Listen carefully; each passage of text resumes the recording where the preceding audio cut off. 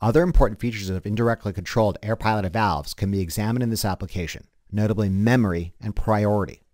Let's examine memory first. You note the double air piloted 5x3 directional control valve does not have an offset spring nor a preferred deactivated state. The two air pilots work in opposition to one another. When the air pilot on the left is asserted, the valve shifts to a position that extends the cylinder. When an operator stops pressing push button on the left, the spool remains in this position and the cylinder remains extended. Whereas, when the air pilot on the right is asserted, the valve shifts to a position that retracts the cylinder. When an operator stops pressing push button 2 on the right, the spool remains in this position and the cylinder remains retraction. This begs the question, what happens when you turn the system off? In the absence of any new pilot signal, the system simply remains in the last asserted state because of memory.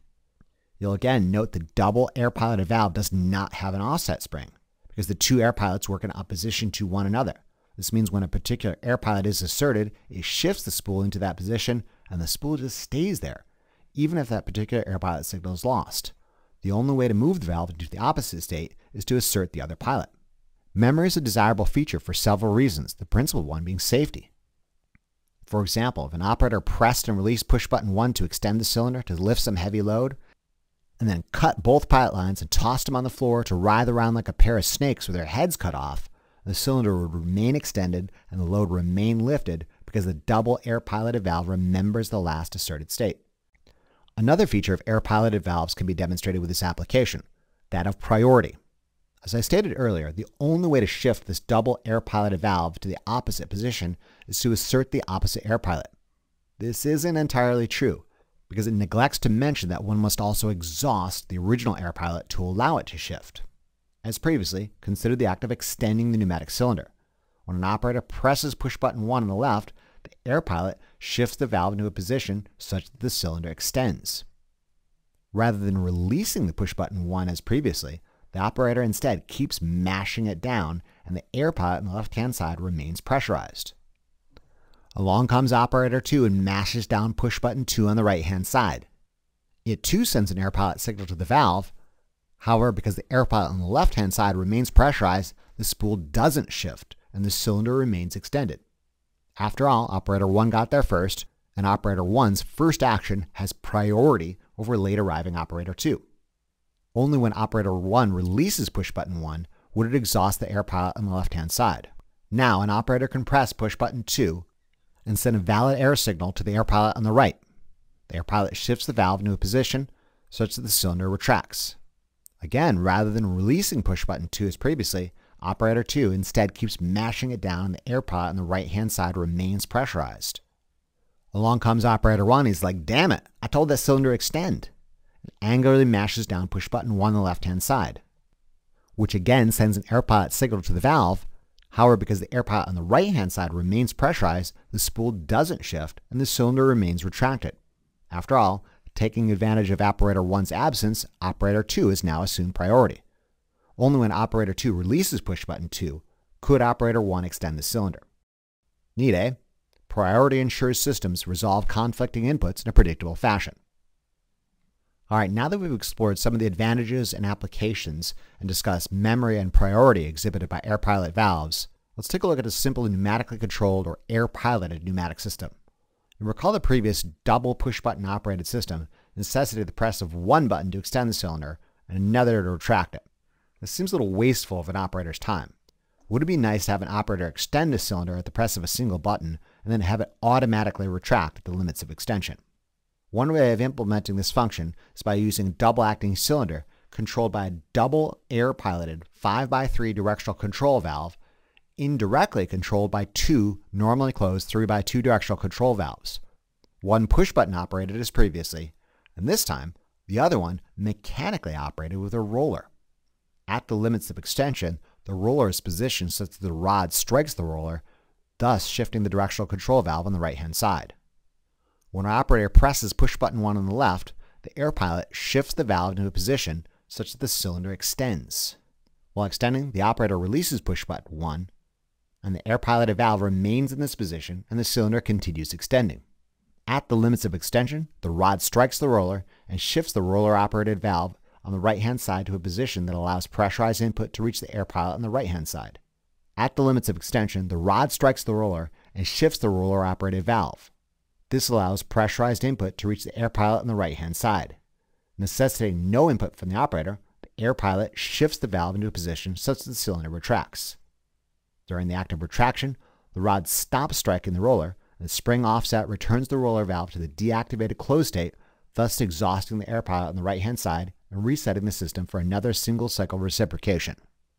Here's a real world example of this system. When our operator presses the push button, the air pilot valve shifts and the cylinder extends.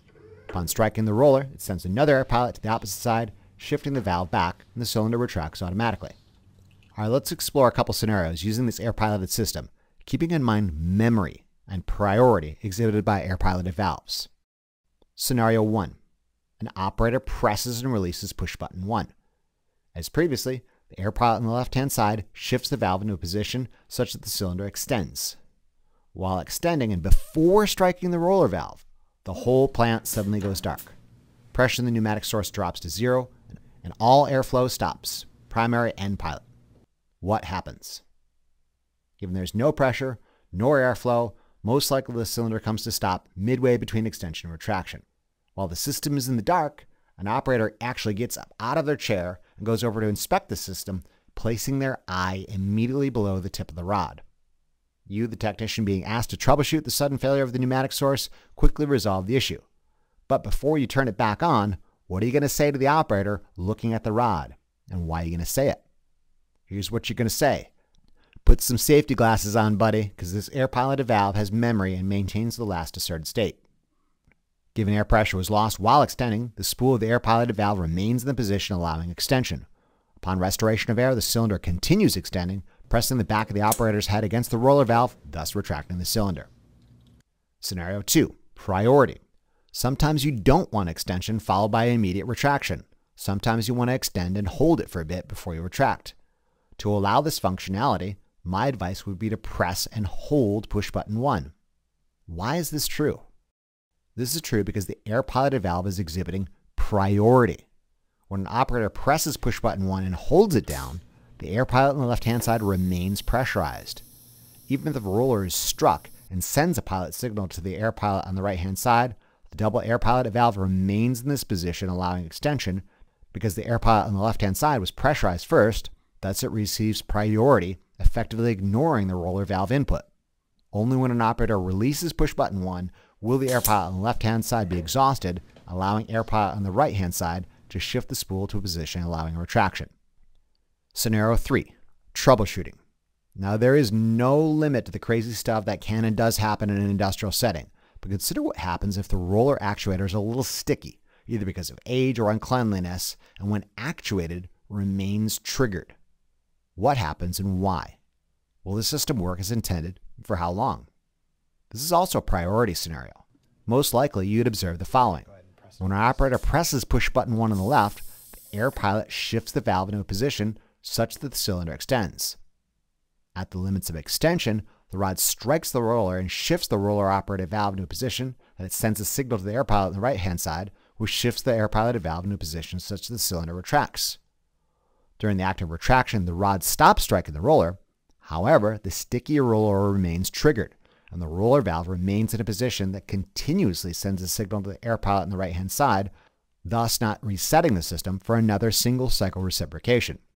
Outwardly, nothing is amiss because the system did perform a single cycle reciprocation as intended. However, when an operator attempts to repeat this action, it won't work. Why? Priority. That's why. With the air pilot on the right hand side remaining pressurized by the inadvertently actuated roller valve, the double air piloted valve remains in the retraction position because the air pilot on the right has priority over any new input. Only when a technician frees and cleans the sticky roller or replaces it with a new one will the system stop asserting retraction as priority and reliably perform single cycle reciprocation as intended. All right, hopefully this quick discussion and demonstration of air piloted directional control valves got you thinking. We'll explore more applications of air piloted valves after we discuss two important logic valves, the AND or dual pressure valve and the OR or shuttle valve in later lectures. In conclusion, this lecture examined air-piloted pneumatic directional control valves. We discussed the advantages of air-piloted valves and explored several air-piloted applications.